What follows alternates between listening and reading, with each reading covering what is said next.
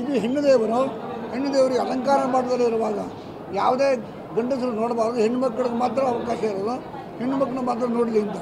ಆದರೂ ನಮ್ಮ ಗಂಡಸರುಗಳು, ಗಂಡು ಮಕ್ಕಳುಗಳು ಅದನ್ನು ಮನವರಿಕೆ ಮಾಡ್ಕೊಂಡಿಲ್ಲ ಇನ್ನು ಇವತ್ತಿನ ತನಕ. ಮುಂದಾನ ಮನವರಿಕೆ ಮಾಡ್ಕೊಳ್ಳಿ ಅಂತ ಹೇಳ್ತೀನಿ. ಇದು ಹದಿಮೂರನೇ ತಾರೀಕು ಮತ್ತು ಇಪ್ಪತ್ತೆಂಟು ತಾರೀಕು ಎರಡೂ ದಿನಕ್ಕೆ ಅನ್ವಯಿಸ್ತಕ್ಕಂಥದ್ದು.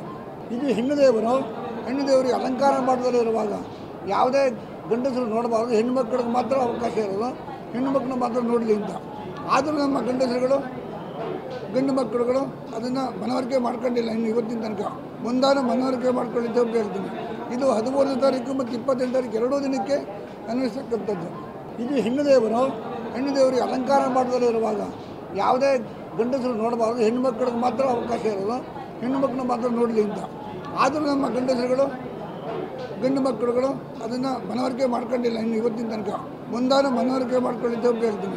ಇದು ಹದಿಮೂರನೇ ತಾರೀಕು ಮತ್ತು ಇಪ್ಪತ್ತೆಂಟು ತಾರೀಕು ಎರಡೂ ದಿನಕ್ಕೆ ಅನ್ವಯಿಸ್ತಕ್ಕಂಥದ್ದು ಬೆಂಗಳೂರಿನಿಂದ ಮಂಗಳೂರುವರೆಗೆ. ಬೀದರ್ನಿಂದ ಚಾಮರಾಜನಗರದವರೆಗೆ.